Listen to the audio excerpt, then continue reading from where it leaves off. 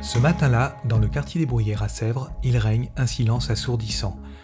Aucune voiture ou presque ne circule.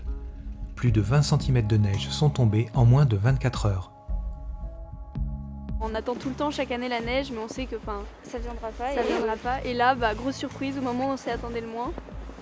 Donc euh, bah, c'est trop cool. Alors cette neige pour les Sévriens engendre-t-elle du plaisir ou des contraintes? Plaisir, euh, parce que je trouve c'est tellement beau euh, que là on a l'impression d'être à la montagne. Je viens de me faire une belle balade euh, dans la forêt là avec mon chien, c'était top. Mais aujourd'hui je travaille pas, donc j'ai de la chance.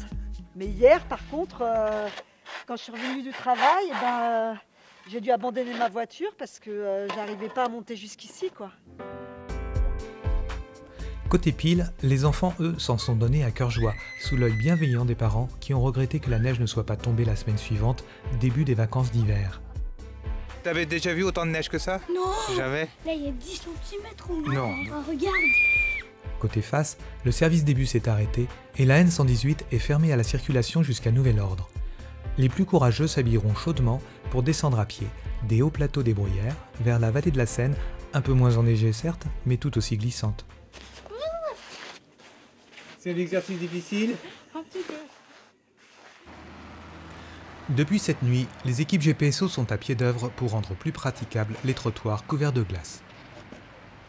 En fait, euh, Sèvres, c'est une ville euh, avec des côtes, des petites rues, ce qui ne facilite pas euh, les passages des saleuses. Il y a des sentes, il y a des escaliers, il y a... La sableuse, elle ne va pas dans les escaliers.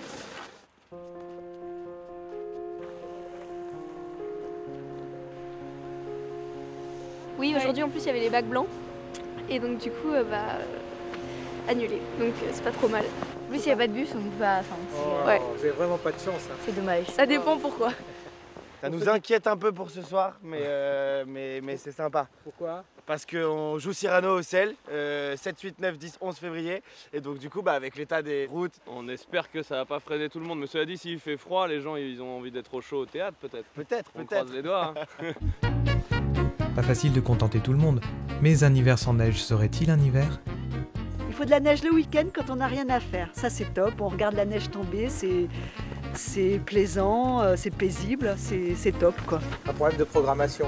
C'est ça.